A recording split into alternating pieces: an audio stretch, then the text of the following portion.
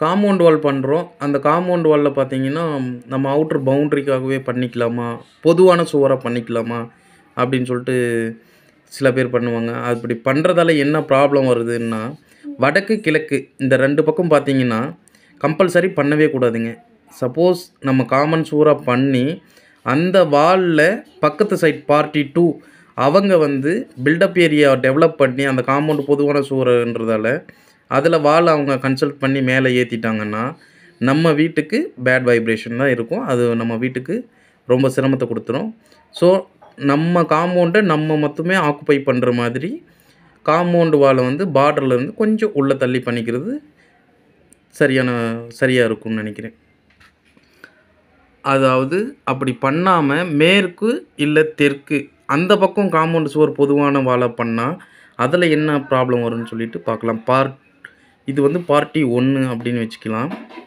அடுத்தது party two party டூவில் பார்த்தீங்கன்னா நம்ம பார்ட்டி ஒன்றா இருக்கும்போது நமக்கு குபேர மூலையாக இருக்கிற தென்மேற்கு பகுதி வந்து பார்ட்டி டூக்கு வந்து வாயு மூலையாக இருக்கும்.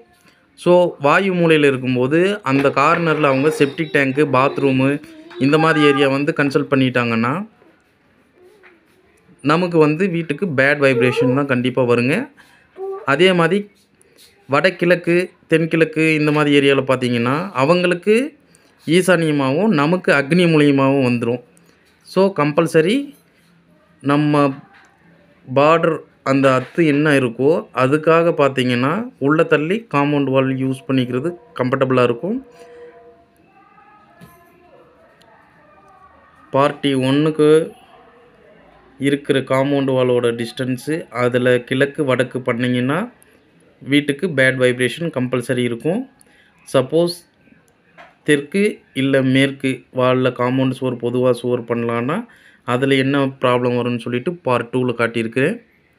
பாருங்கள் நமக்கு குபேர மொழியாக இருக்கிறது பார்ட்டி டூக்கு வந்து வாயு மொழியாக இருக்கும். கம்பல்சரி நம்ம பார்டரில் இருந்து உள்ளே தள்ளி காம்பவுண்ட் யூஸ் பண்ணிக்கிட்டு நம்ம மட்டுமே நம்ம காம்பவுண்டை ஆக்குப்பை பண்ணுறது கரெக்டாக இருக்குங்க.